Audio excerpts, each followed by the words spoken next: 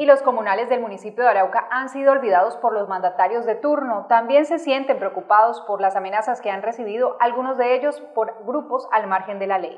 Líderes comunales en el municipio de Arauca se encuentran preocupados por las amenazas que han recibido algunos de ellos y por la pérdida de identidad de los comunales por parte de las administraciones. Muy preocupante, eh, tanto la, la, situación de la parte comunitaria sobre la, la muerte de los dirigentes, como también la pérdida de ese trabajo o la esencia realmente de lo comunal, porque anteriormente pues un líder comunal llegaba a las administraciones y era atendido como, como, como debe ser, un líder. Pero hoy en día llega un comunal, hermano, y aquí dura dos meses, un mes, no atienden a nadie.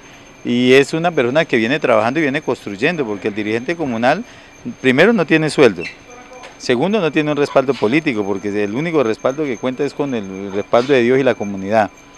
Pero de igual manera se ha venido perdiendo eso y eso hace que cada día las cosas sean más difíciles para la comunidad, porque uno viene aquí a transmitir lo que sucede en primera mano en las comunidades para que los gobiernos pues lo puedan tomar y puedan solucionar toda la problemática. Hoy en día ya no se ve eso. Para el líder comunal de Arauca, las administraciones no los tienen en cuenta para realizar las respectivas obras en los diferentes barrios. Ya los programas salen en consulto con las mismas en consulto con las mismas juntas comunales, y entonces cuando se le presenta, se le presenta el contratista, vengo a hacer esto y eso, y si uno dice, no, no, eso no era lo que necesita la comunidad, pues eso se va a hacer y si no, nos lo llevamos para otra parte.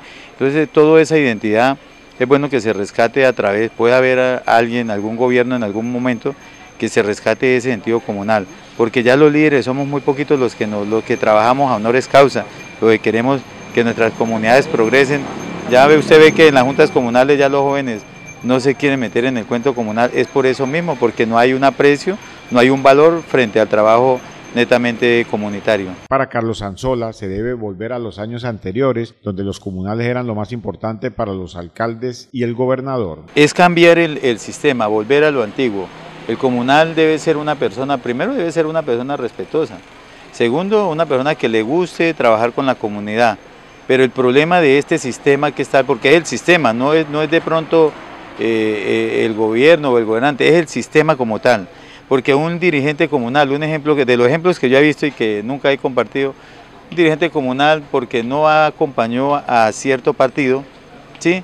que está de turno, por decir, entonces le montan un calanchín ¿sí? que vaya a repartir mercados siendo como el gran líder para poder desmeritar el trabajo de ese comunal, mientras que el verdadero comunal con mercado, sin mercado, con gobierno, sin gobierno, siempre se ha estado luchando por porque la comunidad esté bien, por llevar una obra, porque conozcan la problemática realmente de primera mano de lo que sucede en el barrio. Otra de las grandes problemáticas es la inseguridad que se está presentando en la capital araucana. Nosotros lo hemos venido manifestando, el tema de la inseguridad, eso es un tema que los comunales se ha venido pronunciando desde hace muchos años, ¿sí?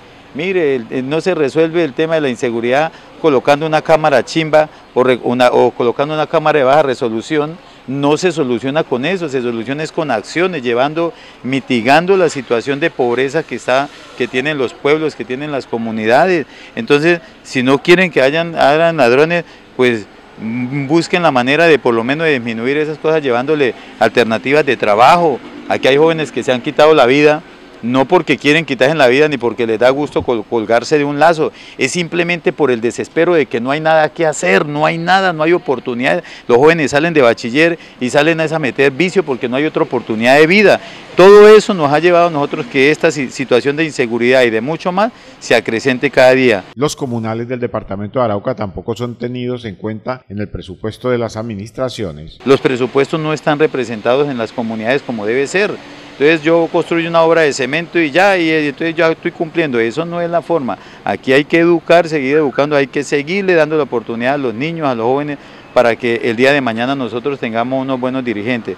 De lo contrario ya tiende con estas políticas equivocadas y represivas es acabar con la esencia de lo comunal ya uno no puede denunciar. Si yo denuncio una obra que está mal hecha, me convierto en enemigo, tanto del mandatario me convierto en enemigo como también de, los, de las personas que no quieren que uno denuncie.